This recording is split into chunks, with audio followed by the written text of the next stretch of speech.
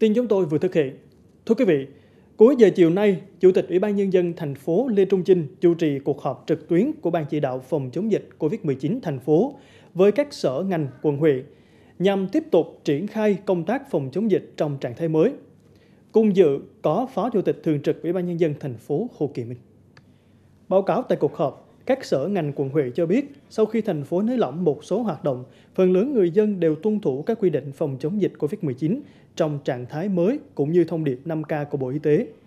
Các lực lượng chức năng địa phương cũng đã tổ chức nhiều đợt kiểm tra, giám sát đối với những hàng quán, kinh doanh ăn uống, buộc các hộ này ký cam kết đảm bảo an toàn phòng chống dịch nếu hoạt động trở lại. Các chốt kiểm dịch, khu cách ly tập trung vẫn duy trì công tác phòng chống dịch chặt chẽ. Nhiều ý kiến đề xuất thành phố có phương án hỗ trợ cho người dân có nhu cầu xét nghiệm SARS-CoV-2, nhất là với những trường hợp khó khăn, yếu thế trong xã hội. Xem xét lại việc phát thải đi chợ thời gian tới và quản lý chặt hơn người từ địa phương khác trở về.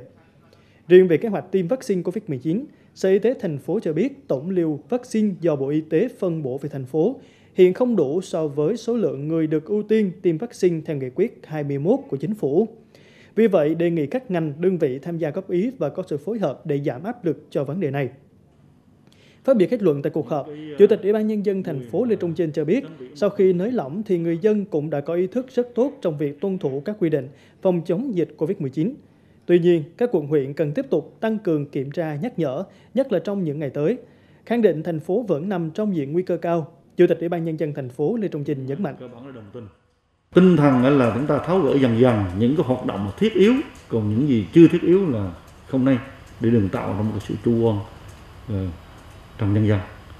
Còn tất nhiên là các chốt và các cái tổ Covid cộng đồng là chúng ta cũng phải tăng cường hoạt động để mà giám sát cái vòng ngoài cho nó chặt chẽ.